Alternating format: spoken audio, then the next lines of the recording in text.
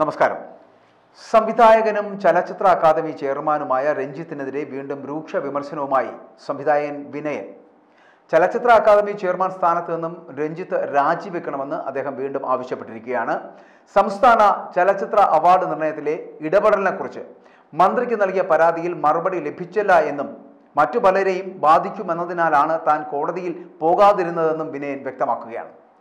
Case തള്ളിപ്പോകാൻ വേണ്ടി ചിലർ കോടതിയിൽ വ്യാജ പരാതികൾ കൊടുത്തുവെന്നും സംവിധായകൻ ഷാജിയൻ കരുൺ തന്നെ ഫോണിൽ വിളിച്ച് പിന്തുണ അറിയിച്ചുവെന്നുമൊക്കെ വിനയൻ പറയുന്നുണ്ട്.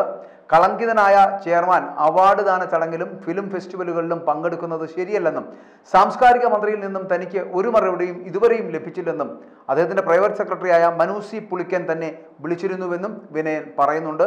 തന്റെ ഫേസ്ബുക്ക് പോസ്റ്റിലാണ് ഇതൊക്കെ അദ്ദേഹം കുറിച്ചു വെക്കുന്നത്. അദ്ദേഹത്തിന്റെ ഫേസ്ബുക്ക് പോസ്റ്റിലൂടെ അദ്ദേഹം പറയുന്നത് ഇതൊക്കെയാണ്. പ്രിയമുള്ള എന്റെ സുഹൃത്തുക്കൾക്ക് ഹൃദയം നിറഞ്ഞ ഓണാശംസകൾ എന്നാണ് ഫേസ്ബുക്ക് പോസ്റ്റ് തുടക്കം. വളരെ അത്യാവശ്യമായ ഒരു കാര്യം നിങ്ങളുമായി പങ്കുവെക്കേണ്ടതുണ്ട് എന്നതുകൊണ്ട് കൂടിയാണ് ഇപ്പോൾ ഞാൻ ഈ കുറിപ്പ് എഴുതുന്നത്. ചലച്ചിത്ര അക്കാദമിയുടെ ചെയർമാൻ ഇത്തവണത്തെ സിനിമാ അവാർഡ് നിർണയത്തിൽ തന്റെ പദവി ദുരുപയോഗം ചെയ്തതുകൊണ്ട് ഇടപെട്ട് എന്ന ജൂറി മെമ്പർമാരുടെ തന്നെ വെളിപ്പെടുത്തലുകൾക്ക് ശേഷം അതിനെക്കുറിച്ച് വലിയ ചർച്ച നമ്മുടെ നാട്ടിൽ നടന്നുവല്ലോ. ധാർമ്മികതയുടെ പേരിലാണെങ്കിലും നിയമപരമായിട്ടാണെങ്കിലും തെറ്റു ചെയ്തു എന്ന് പകലുപോലെ വ്യക്തമായ സാഹചര്യത്തിൽ ചെയർമാൻ സ്ഥാനം രാജിവെക്കുന്നതാണ് മാന്യത എന്നാണ് ഞാൻ അന്നും ഇന്നും പറയുന്നത്. അല്ലാതെ കോടതിയിൽ കേസിന് പോകുമെന്നോ പ്രഖ്യാപിച്ച അവാർഡുകൾ റദ്ദ് ചെയ്യുമെന്ന് ആവശ്യപ്പെടുമെന്നോ ഞാൻ ഒരിക്കലും പറഞ്ഞിട്ടില്ല. ഒരു നിലപാടെടുത്താൽ യാതൊരു കാരണവശാലും ഞാൻ അതിൽ നിന്ന് മാറുകയില്ല എന്ന് എന്നെ മനസ്സിലാക്കിയിട്ടുള്ള സുഹൃത്തുക്കൾക്ക് അറിയുകയും ചെയ്യാം. ജൂറി മെമ്പർമാരുടെ വോയിസ് ക്ലിപ്പ് ഉൾപ്പെടെ വളരെ കൃത്യമായ തെളിവുകളുമായി കോടതിയിൽ പോയാൽ അക്കാദമി പുലിവാൽ പിടിക്കും എന്നത് അറിയാഞ്ഞിട്ടല്ല ഞാൻ അതിന് പോകാത്തത്. അതെന്റെ നിലപാടായിരുന്നു. അതിന് ചില കാരണങ്ങളും ഉണ്ടായിരുന്നു അക്കാദമി ചെയർമാൻ ശ്രീ രഞ്ജിത്ത് കാണിച്ച വൃത്തികേടിന് മറ്റു പലരും ബുദ്ധിമുട്ടേണ്ടതില്ലല്ലോ എന്നാണ് ഞാൻ കരുതിയത്. പക്ഷെ സിനിമാ കഥ പോലുള്ള ചില കോടതി നാടകങ്ങൾ സൃഷ്ടിച്ച് നിയമത്തിന്റെ കണ്ണിൽ പൊടിയിട്ട് ആ പബ്ലിസിറ്റിയിൽ രക്ഷപ്പെടുവാനുള്ള ശ്രമം മറുപക്ഷത്ത് നടക്കുന്നു എന്നത് പരിഹാസ്യമാണ്. ചില ഡമ്മി കക്ഷികളെ കണ്ടെത്തി യാതൊരു തെളിവും ഹാജരാക്കാതെ കോടതികളിൽ കേസ് കൊടുപ്പിച്ച് തള്ളിക്കുക. ആ വാർത്ത കൊടുത്ത് താൻ തെറ്റുകാരൻ അല്ലെന്ന് വരുത്തി തീർക്കുക.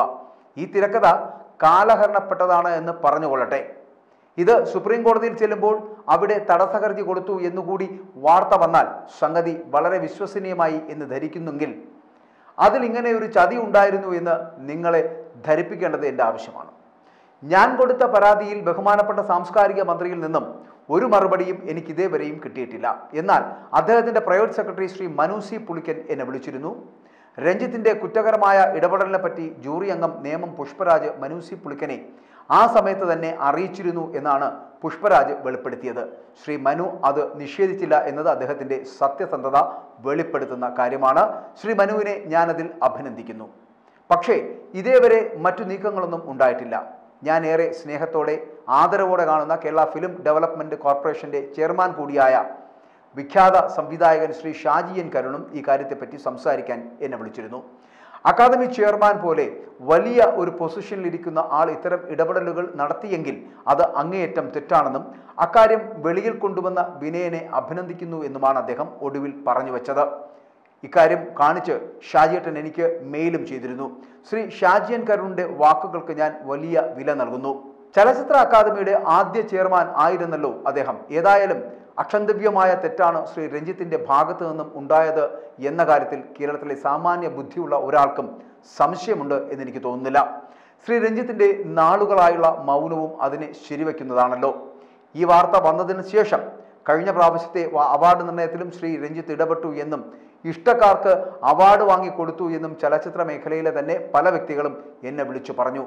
എന്നാൽ അത്തരം കേട്ടുകേൾവികളൊന്നും ഞാൻ വിശ്വസിക്കുന്നില്ല. പക്ഷേ ഇവിടെ ശക്തമായ തെളിവുകളുണ്ട്.